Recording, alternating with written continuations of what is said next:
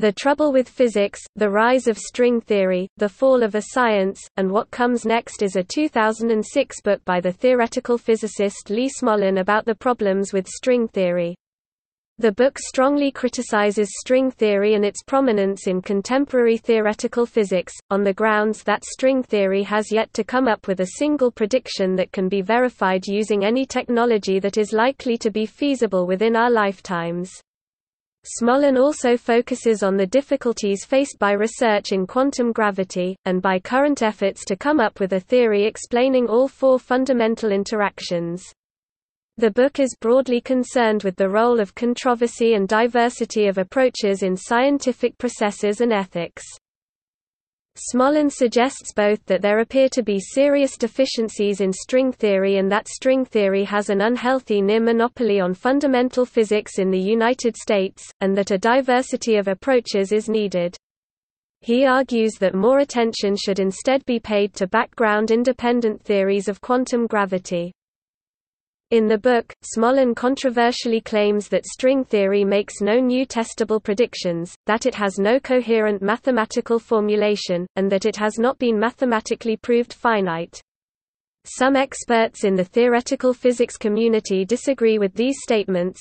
Smolin states that to propose a string theory landscape having up to 10,500 string vacuum solutions is tantamount to abandoning accepted science, the scenario of many unobserved universes plays the same logical role as the scenario of an intelligent designer. Each provides an untestable hypothesis that, if true, makes something improbable seem quite probable.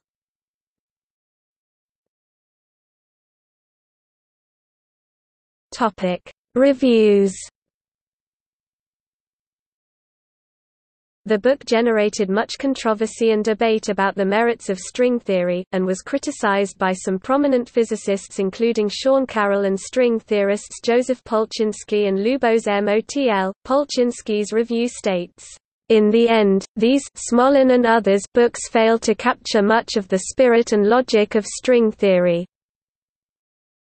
Motl's review goes on to say, the concentration of irrational statements and anti-scientific sentiments has exceeded my expectations."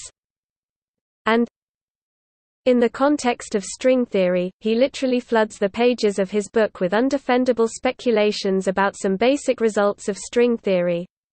Because these statements are of mathematical nature, we are sure that Lee is wrong even in the absence of any experiments.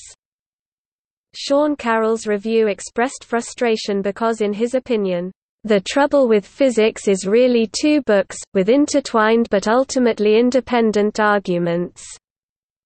He suggested that the arguments in the book appear divided. One argument is big and abstract and likely to be ignored by most of the book's audience, the other is narrow and specific and part of a wide-ranging and heated discussion carried out between scientists, in the popular press, and on the Internet.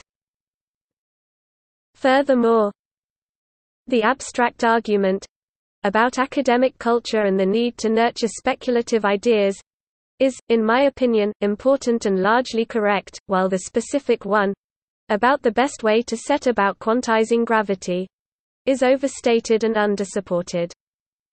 Carroll fears that excessive attention paid to the specific dispute is likely to disadvantage the more general abstract argument. Sabine Hossenfelder, in a review written a year later entitled, The Trouble with Physics, Aftermath, alludes to the book's polarizing effect on the scientific community. She explores the author's views as a contrast in generations, while supporting his right to them. Hossenfelder believes that Smolin's book attempts to restore the relation physics once had with philosophy, quoting him as follows, Philosophy used to be part of the natural sciences, for a long time. For long centuries during which our understanding of the world we live in has progressed tremendously. There is no doubt that times change, but not all changes are a priori good if left without further consideration.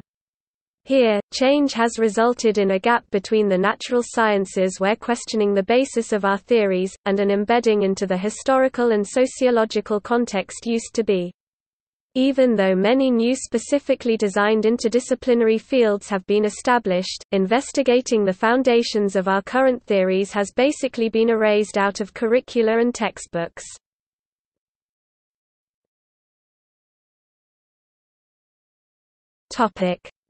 The String Wars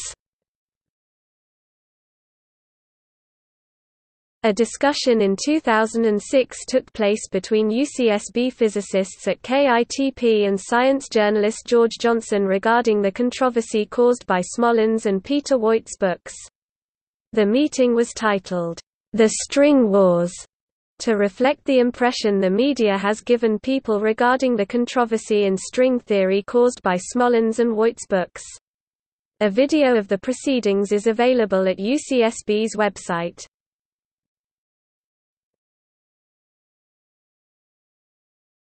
Topic. See also Loop quantum gravity Peter Woit